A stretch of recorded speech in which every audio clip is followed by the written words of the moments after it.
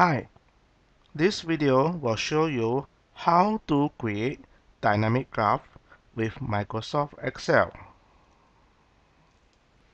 What is a dynamic graph? Let's watch the demonstration about the graph of y equal to mx plus c by changing the values of m and c. I have created a document using Microsoft Excel to demonstrate the graph of y equal to mx plus c by changing the value of m and value of c. At the moment, the value of m is 5 and c is equal to 0. I have two vertical scroll bar to control the value of m and the value of c. Now let me click on the vertical scroll bar, control the value of m. And I decrease the value of m to 3, the graph will also change accordingly. And decrease the value of m again to 2. Now y equal to 2x. Decrease the value of m to 1. y equal x now. Let me increase the value of c now.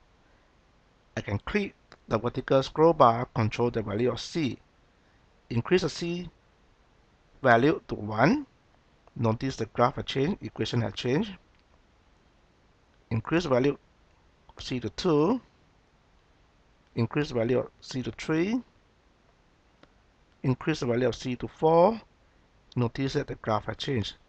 Now I can control, changing the value of M again. Let's increase the M value to 2. Notice that now is y equal to x plus 4. So this is what I mean by dynamic graph in Excel. So how do we create this Excel worksheet? Step 1. Create a table for y equal to mx plus c with the value of x equal to 0, 1, 2, 3, 4, 5 and we have set m equal to 2 and c equal to 3. Let's open a spreadsheet and type some text such as the graph of y equal to mx plus c and a table consists of x and y where x equal to 1, 2, 3, 4, 5 and I'm going to compute the value of y according to y equal to mx plus c. Now I put m equal to 2 and c equal to 3 in the beginning. Let's compute the y based on y equal mx plus c. So I enter the formula in the cell E7 as equal to, so I'm going to type dollar sign. M is an entry in E4. So I'm going to type dollar sign E dollar sign 4 times the value of x which is in D7 D7 plus the value of C which is in G4 so I'll type dollar sign G dollar sign 4 and I press enter. That is the value of y when m equal to 2, c equal to 3, and x equal to 1. Now let's copy this formula and paste to the rest of the table. I got a table consists of x and y now. Step 2. I'm going to draw the graph and display the equation using the table I just created.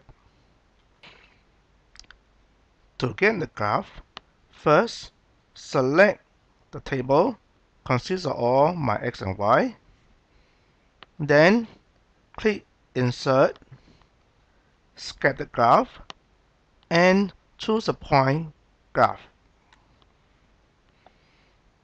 Let me get rid of the text series one here as I don't need them. To add the trend line, let me choose one of the point, right click, and add a trend line. To display the equation, make sure you click Display Equation on Chart and then close. Now the equation has appeared. This is how you create a graph of a straight line from the table. Step 3.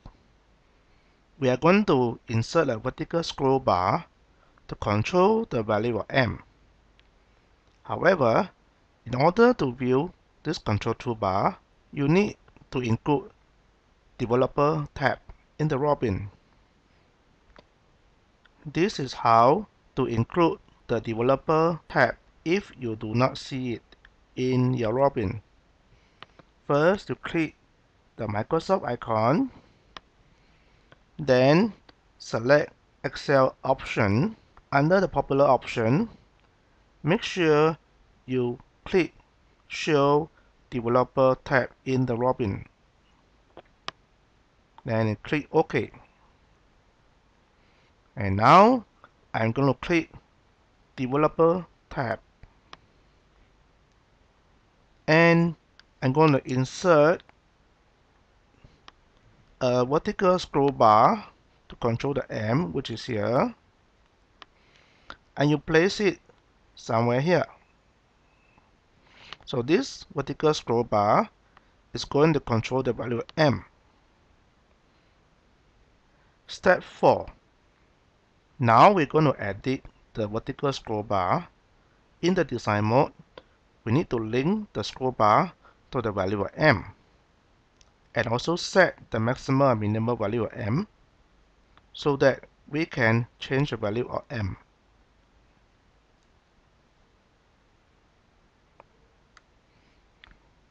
This is how we control the value of m by changing the properties of this scroll bar.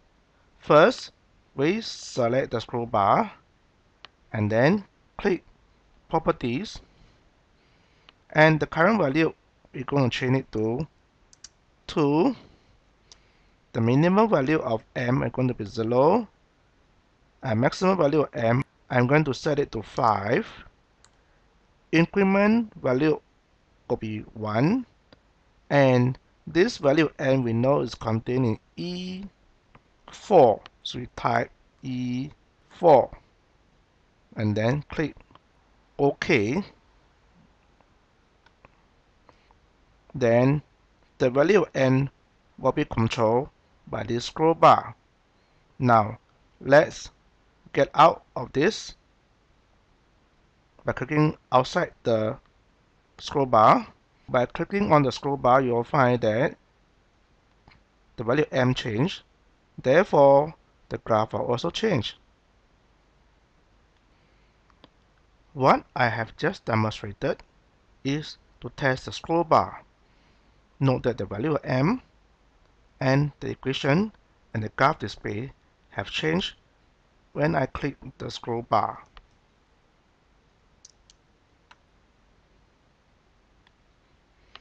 Unfortunately, when the graph change, the scale on the vertical axis also change.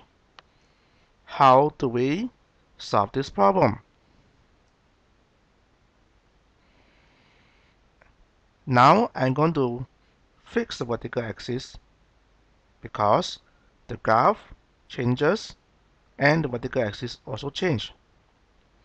I'm going to set the maximum value of y displayed to be 25 and the minimum value of y to be minus 5. And this graph will always fix the vertical axis.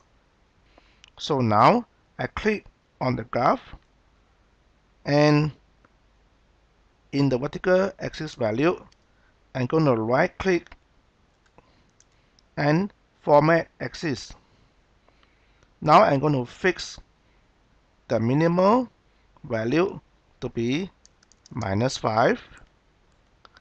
I'm going to fix the maximum value to be 25.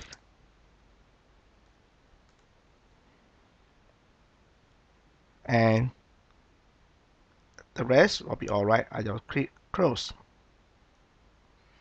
Now, You test the scroll bar again.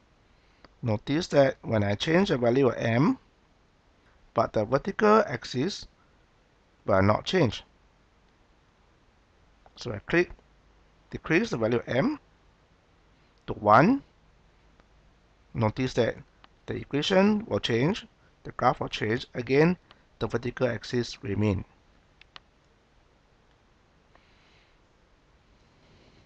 What I have just demonstrated is a slider control for M to view the dynamic graph of y equal mx plus c when m change.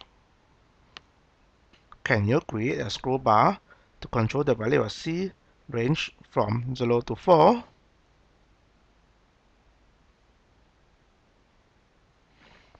Thanks for watching.